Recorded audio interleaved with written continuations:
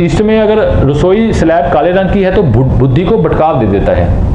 अगर किचन की slab east में काले रंग की हो तो बुद्धि में भटकाव आएगा।